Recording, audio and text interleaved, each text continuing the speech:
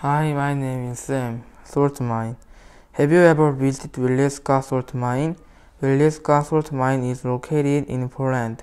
Do you want to visit Wieliczka salt mine? Personally, I want to visit Wieliczka salt mine.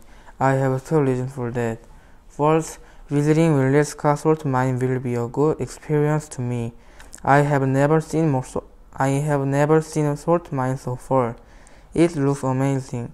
I am scared that this mine may be collapsed, so I want to see this in person. Second, I want to cure my allergy. I have a pollen allergy. This allergy makes my nose itch in summer. It's very uncomfortable.